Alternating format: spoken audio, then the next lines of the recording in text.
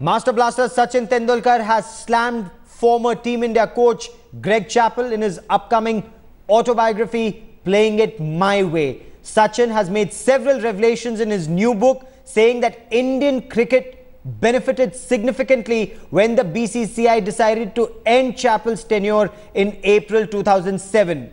Several of our senior players were relieved to see him go, which was hardly surprising because of reasons not hard to comprehend.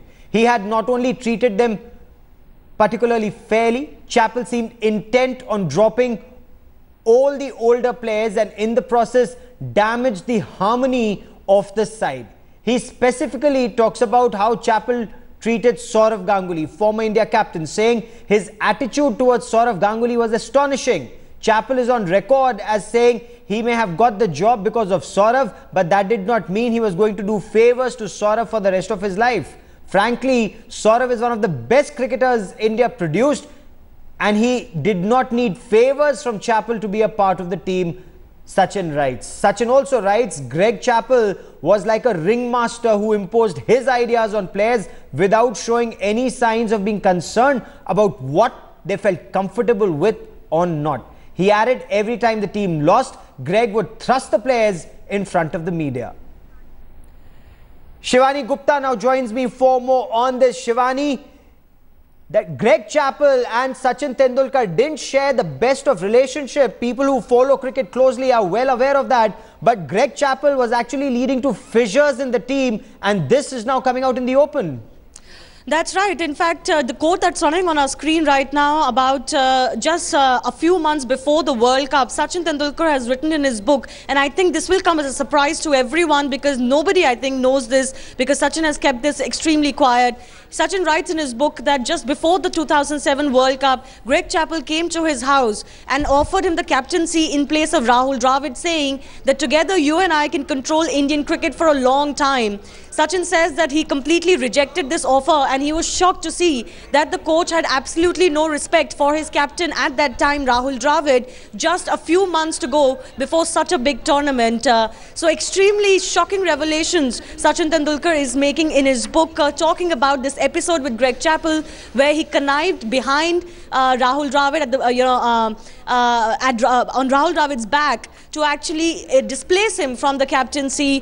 he also mentions about his attitude to Sourav Ganguly, saying that uh, Greg Chappell is on record to say that Sourav uh, may have got me this job, but I'm not going to do his favors. But Sachin sets the record straight, saying that Sourav was one of the best players that India had produced, and he did not need any favors, uh, especially from someone like Greg Chappell. But I think the most important part of this excerpt that has come out, and we are flashing to our viewers first on headlines today, is the fact that he not only offered the captaincy to Sachin Tendulkar just before the 2007 World Cup in place of Rahul Dravid, but there's also an incident mentioned in his book, uh, in his upcoming book, uh, Gaurav, where he talks about how he told Lakshman, VVS Lakshman to open the batting. And when Lakshman declined, he almost threatened Lakshman saying that making a comeback at the age of 32 is not going to be very easy for you.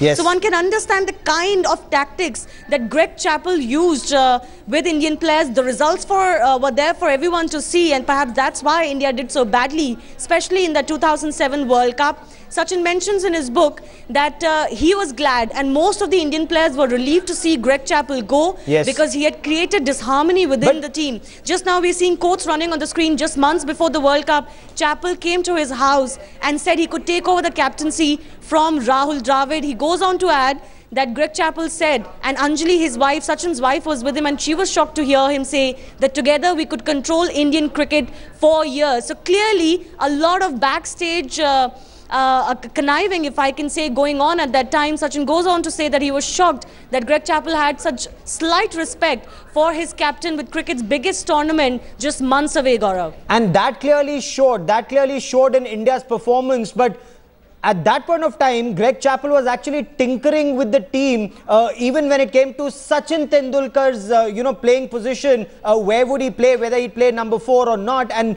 playing around with that position had a major impact on the team and, and Sachin Tendulkar clearly didn't like that. Oh, absolutely. Like I said, there's this episode mentioned with the uh, Lakshman, uh, Sachin hasn't mentioned any any episode with him apart from this uh, where he talks about Greg Chappell coming to his house and offering him captaincy. But uh, there's an episode mentioned with Lakshman, who's of course one of the senior players of the team who batted in the middle order for years, was settled as a middle middle order batsman. Sachin writes in his book saying that Lakshman uh, was told to open. Greg Chappell actively asked him to open the batting, and when Lakshman politely declined, Greg Chappell almost threatened Lakshman that you know uh, if you get out of the team now now, making a comeback at 32 is not going to be easy. Yes. And we all know what happened with the regards to that, uh, then India captain Sourav Ganguly. You know, the treatment that was meted out to him. So, of course, Chappell didn't just do this to Ganguly. He tried it with other players. In fact, uh, Sachin has mentioned very clearly in his book and the excerpt that we have right now with us that Chappell tried very actively to uh, drop almost all senior players. He yes. even went to the BCCI before the World Cup to push them to drop many senior players, uh, hoping to change the entire makeup of the team so that he could have perhaps a younger team and a new team in his hands. Uh, but so but no look at the way he was trying to connive at every stage. Stay with me, Shivani. Let me also bring in Nikhil Chopra uh, for more at this stage. Nikhil, when you look at Team India, here was Greg Chappell, a controversial stint with Team India, but he was messing around with every senior player, virtually every senior player of the team messing around with Sourav, who got him the job, messing around with Dravid, going going uh, to Sachin Tendulkar and saying, you know, conniving, virtually trying to connive with him to remove Dravid. Uh, Sachin refused, uh, trying to, uh, you know, mess around with other players. What does this indicate? Well, the important thing is, uh, Gaurav, that's been the history with uh, Greg Chappell. Classic thing when you enter uh, a team as a coach with senior players involved, once you get rid of the senior players, you can control the juniors because the, the seniors obviously have age and everything. Yes. So that that was Greg Chappell's, uh, you know, go-to mantra. But I'm glad the BCCI didn't listen to, and also Sachin Tendulkar at that moment in time put his foot down. Yeah, and one thing, one BCCI did not listen to him, but this conniving, these this playing games with Team India had its impact, had an adverse impact on the team, whether it was with Sourav Ganguly, whether it was with Dravid, with Sachin Tendulkar, also, uh, you know, Zaheer Khan, Harbhajan Singh, nobody was happy with Greg Chappell. Names of the players that you've just taken gone out, you know, as soon as Greg Chappell went, Gary Kirsten came in, all of a sudden all these players were performing at their optimum level. Whether it be a Virendra Sehwag, whether it was uh, Harbhajan Singh, Zaheer Khan, Yuvraj Singh, it just goes to show when your focus is totally looking to get the best out of every individual player from Team India, performances came. But here, Greg Chappell most probably at that moment in time was trying to break up Team India, bring in the younger lot, and control it single-handedly. But when we talk of Team India, and this is where, uh, you know, one, fortunately, BCCI stood by the players, and two, the younger players or the team stood together like a rock, whether it was Zaheer or Harbhajan, instead of playing into Greg Chappell's hands, or even Sachin Tendulkar, instead of agreeing to Greg Chappell, they said no to him at every stage. All the senior players, Gaurav, that you just mentioned, you know, they were all together very united, and that's why in that period of time when they all played and were part of Team India, Team in India won the Test Championship as well. So it was as an individual, another player, your own, uh, you know, uh, fellow mate, looking and hoping that the guy does well as well. And here was Greg Chappell trying to break that. Yes. And I'm glad that Team India stood by each other. You know, in that last three decades, that's one phase of time. I don't know in the future, but that's one phase of time where Team India probably probably has performed their best. Yes, absolutely. Shivani and Nikhil, stay on with me for a moment. We also have a reaction that's coming in from former Team India captain Sourav Ganguly, and this is exclusive to headlines today. Let's listen in to Sourav Ganguly.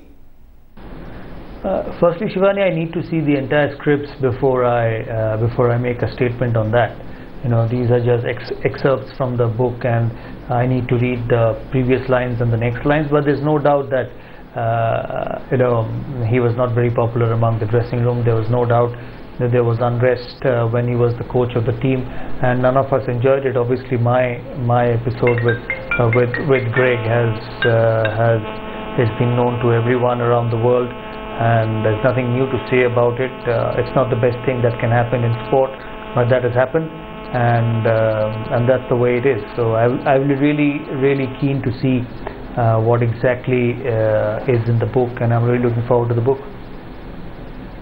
Well, not just Sourav Ganguly, everyone's looking forward to Sachin Tendulkar's book, uh, where in a chapter he actually slams uh, Greg Chappell. Uh, Shivani, are there other instances of how unpopular Greg Chappell was in the dressing room?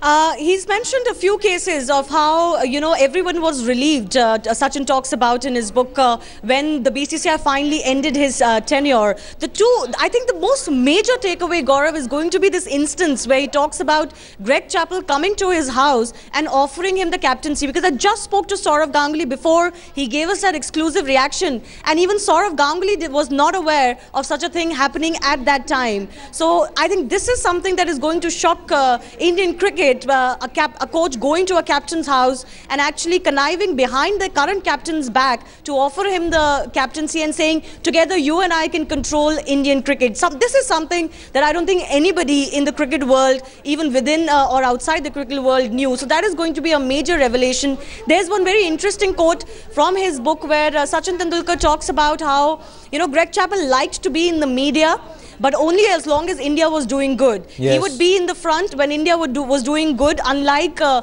uh, John Wright before him and Gary, Gary Kirsten after him.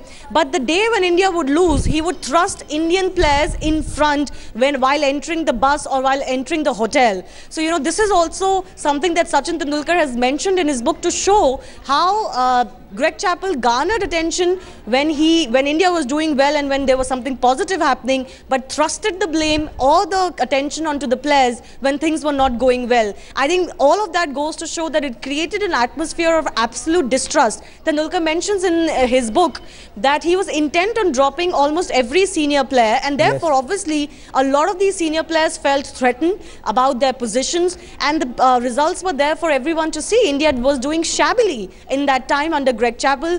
Tendulkar says that it was a blessing when uh, Greg Chappell's tenure was brought to an end in April 2007 yes. because under Greg Chappell, Indian cricket was going nowhere, is what Sachin Tendulkar says. And it is, it is Nikhil, for anyone who plays cricket or watches cricket, it's suicidal to try and change the captain just before World Cup. Oh, for that matter, uh, you know, when you're looking to change captain, you must have ready people there who are looking to take up the job. Now, if you've got two senior guys, Gaurav, and you know one's probably not ready, and somebody who's been reasonably doing well, you remove him, and then all of a sudden in one dressing room, when you have too many ex-captains, then you're looking to brew up some sort of controversy.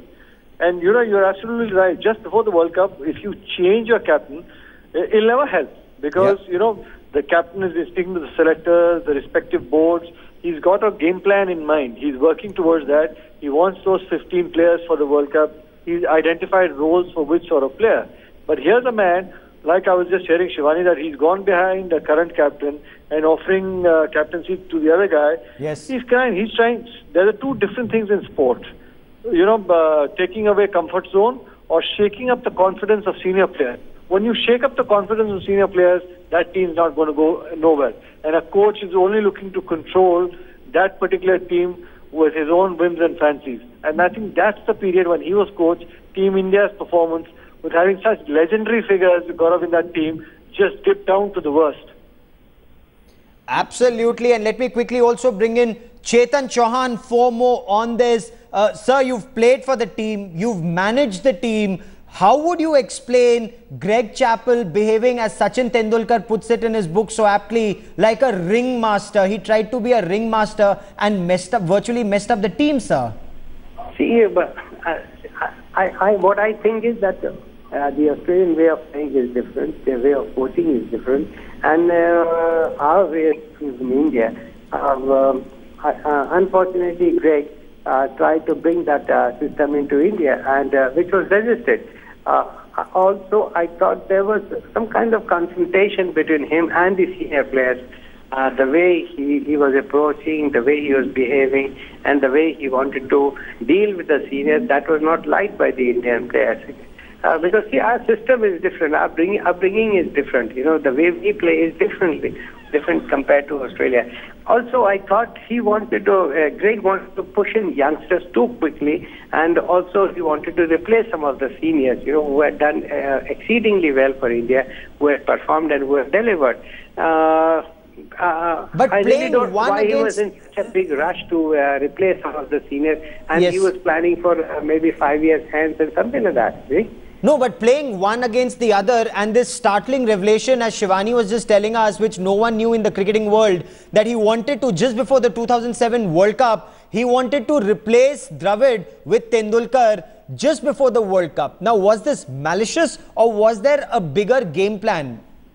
I, I really don't know how, how he could approach and how he could offer this kind and how he could come out with this kind of proposal. Decision of the selection committee. Uh, that period, uh, Dilip Vengsarkar was, was the chairman of the selection committee, and he was he was a very upright and a very strong-headed person. I don't think uh, Greg Chappell could have, uh, if, um, um, could have uh, sort of overruled him, overruled him. So uh, it, it maybe you know this is some kind of a conspiracy uh, to win uh, Sachin Tendulkar on his side because what I hear is um, what I hear from the players at that time was there were many days when uh, the the coach did not speak to some of the seniors. Uh, and there was a communication gap between the seniors and the and the coach, uh, Okay. that is Greg Chappell. So I thought that was very unhealthy. Uh, it was uh, it was not the best thing. Uh, that is the reason some of the seniors, Yes. especially Sourav Ganguly, uh, you know, they came out openly against against the uh, approach and against Yes. the way the coaching was uh, taking place in the Indian side. And uh, also the results were also not the best. You see, we did not qualify in the World Cup. The Indian Yes. team did not do well. And, uh, In fact, they crashed out of the reasons. 2000 yes uh, seven uh, World Cup and the manner in which they did. Uh, Chetan Chauhan, Nikhil, and Shivani for the moment. Many thanks for joining me. Just a short while back, Shivani spoke to former Team India captain Sourav Ganguly for his reaction on this startling revelation. Let's listen in. I need to see the entire scripts before I uh, before I make a statement on that. You know, these are just ex- excerpts from the book, and I need to read the previous lines and the next lines. But there's no doubt that uh, you know he was not very popular among the dressing room. There was no doubt that there was unrest uh, when he was the coach of the team, and none of us enjoyed it. Obviously, my my episode with uh, with with Greg has uh, has has been known to everyone around the world and there's nothing new to say about it. Uh, it's not the best thing that can happen in sport, but that has happened, and uh, and that's the way it is. So I will be really really keen to see uh, what exactly uh, is in the book, and I'm really looking forward to the book.